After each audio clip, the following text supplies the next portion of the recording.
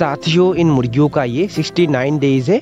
और जैसे कि मैंने आप लोगों को बताया था कि हर एक हफ़्ते में मैं इन मुर्गियों को वज़न करके आप लोगों को दिखाऊँगा कि हर एक हफ़्ते में इन मुर्गियों का वज़न कितना बढ़ता है।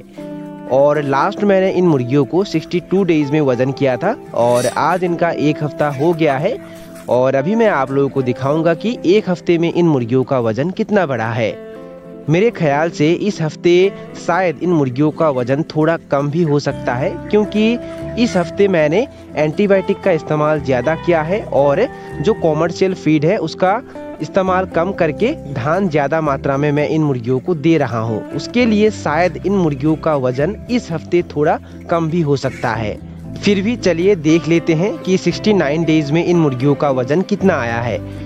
इनको वज़न करने से पहले मैं आप लोगों को एक बात बता देना चाहता हूँ। ये देसी मुर्गियों का सोनाली ब्रीड है और ये बहुत ही जल्दी वज़न गेन कर लेती है। तो चलिए, अब हम वज़न करते हैं। और आप लोग देख सकते हैं, मैंने एक मेल मुर्गा को पकड़ लिया है और इसे अभी मैं वज़न करके आप लोगों को दिखाने वाला हूँ।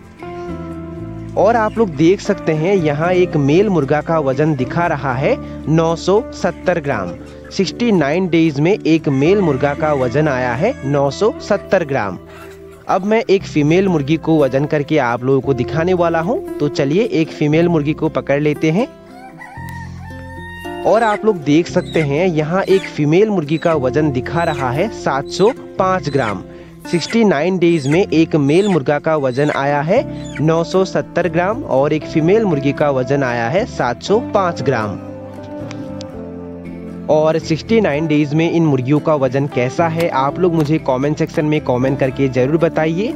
मैं आप लोगों के हर एक कमेंट पढ़ता हूँ, पर कुछ समस्या के कारण मैं आप लोगों को रिप्लाई नहीं दे पा रहा हूँ। उसके लिए आप लोग मुझे माफ़ करना। और अगर आप लोग ये जानना चाहते हैं कि एक हफ़्ते में इन मुर्गियों का वज़न कितना बढ़ा है, उसके लिए आप लोग 62 डेज़ का वीडियो देख सकते हैं और वो वीडियो आप लोगों को इस वीडियो के लास्ट में एंड स्क्रीन में मिल जाएगा। वीडियो के लास्ट में मैं आप लोगों को एक बात बता देना चाहता हूँ कि एक दिन से लेकर अभी तक मैंने इन मुर्गियों को किस तरीके से देखभाल किया है क्या क्या मेडिसिन दिया है उसके ऊपर एक पूरी सीरीज़ बन रही है। और अगर आप लोगों ने पहले के वीडियो मिस कर दिए हैं तो वो वीडियो आप लोग ज़रूर देखिए। उसका लिंक मैंने डिस्क्रिप्शन में दे के रखा हुआ है।